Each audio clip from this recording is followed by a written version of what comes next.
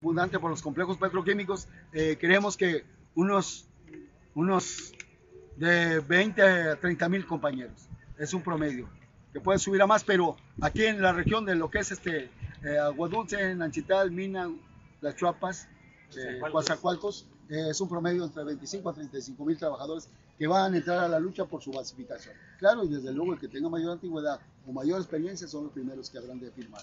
Aquí la mayoría, ¿qué antigüedad tiene? La mayoría oscila entre los 15, 10, 15, 25 y 35 años de antigüedad. O sea, ellos ahorita están trabajando todavía. No, No, ya no la mayoría trabajando. han sido echados a la calle, pero este, tienen el mismo derecho. Tienen el mismo derecho porque la materia prima ahí está, Sí. el petróleo ahí está, la empresa ahí está y nosotros como trabajadores aquí estamos puestos para reclamar nuestros derechos. Estos, Así es. estos 25 mil, ¿en qué estatus están? ¿Como transitorios o, o ya jubilados? Son transitorios, Transitorios. como transitorios. La mayoría, muchos eh, mal jubilados con falta de antigüedad, muchos que les faltaron pago de antigüedad, eh, muchas prestaciones. Sí, mal liquidados por su antigüedad, sus niveles, sus vacaciones, otras prestaciones. Pero sí, lo básico ahorita son la reinstalación, basificación o, pago de, de, presta- de derechos.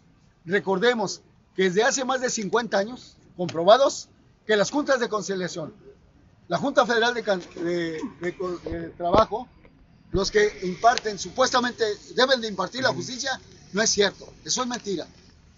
Por ordenamiento de las mafias del gobierno, de criminales, asesinos, ladrones, explotadores, rateros, nos han dado durante más de 50 años las demandas en contra, aunque el trabajador tenga toda la razón. Y por lógica, nos han dado en la torre a nosotros y nos han dado en la torre a nuestras familias, nos han dañado en el estatus económico de, de todos. ¿Cuándo es que finalmente podrían reinstalarse más? Eh, eh, el programa está de a partir de, de en cualquier momento puede empezar. Estamos entregando que somos eh, petroleros y mexicanos del sureste. Somos uno de los más fuertes en el país que hemos estado entregando. Miles de trabajadores que están solicitando. Y queremos que esto pueda eh, realizarse en un mes, dos meses, tres meses. Pero lo básico para terminar hasta el 2024. Esa es la clave. De ahora hasta el 2024. Se van 17 mil sean eh, con 35 55, sean del sindicato o no, y si queda alguno que cubra esta, estos derechos, esta prestación, y que se deba de ir del sindicato, se tendrá que ir, porque los trabajadores ya no vamos a permitir más sufrimiento, explotación, raterismo de esta gente que se debe de quitársele lo robado y aparte aplicarle la justicia.